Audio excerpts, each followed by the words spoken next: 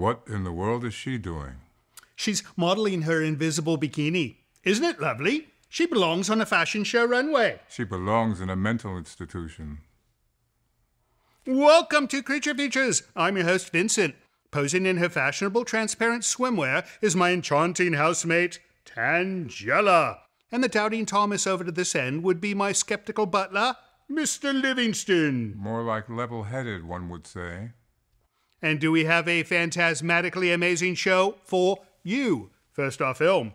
Prepare to plunge into the peculiar and preposterous 1966 world of The Ghost in the Invisible Bikini, a fantastically frivolous film that fuses frights, frolics, and the fabulous. This featherbrained, fiendishly funny flick features a ghostly gal in a gossamer gown, a cast of comically kooky characters, and a beach bound bash teeming with both the visible and the vanishing. Get ready for a raucous romp where the spectral and the sand covered meet in a wild whirlwind of witty wraiths, invisible indiscretions, and belly aching hilarity. Oh, I do wish you would cease with the alliteration.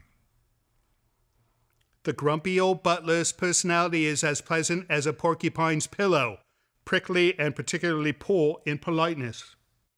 Join us to watch this amazing film, which we last presented two years and 22 days previously, will be Ghost Girl Boo.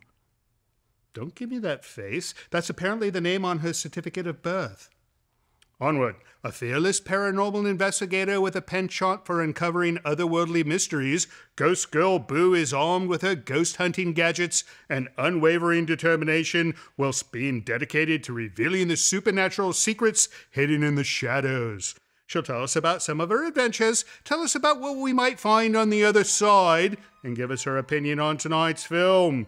So don't go away, for it shall most definitely be a brilliantly spooky night of ghostly phantom fright, right here on Creature Features.